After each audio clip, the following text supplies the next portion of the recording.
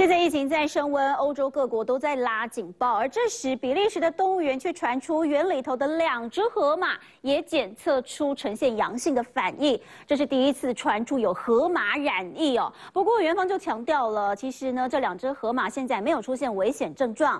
不过这已经不是第一次有动物染疫了，只是之前大多数都是猫科动物，还有猴子，现在呢还不确定到底是它们怎么感染的。另外回到台湾来看，宜兰这边有广大的平原，许多农家会把房子建在农地附近，但是你来看看这个房子是不是有点太奇特了？它竟然直接就。盖在这田中央，而且四面都环水哦。那么出入口是完全没有路的，到底怎么走呢？让不少网友都看傻眼了。而且有人还观察到，这墙上怎么都长起白毛了？难不成这是一个护城河的概念吗？好，蛮奇特的。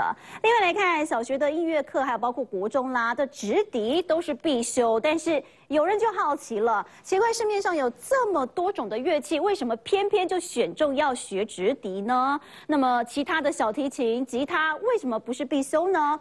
好，其实呢，现在就有人开始在网络上面疯狂讨论。那实际上呢，这个直笛是因为入门成本很低啦，价格很低廉，所以其实在世界各国都会被当作是入门的教学乐器。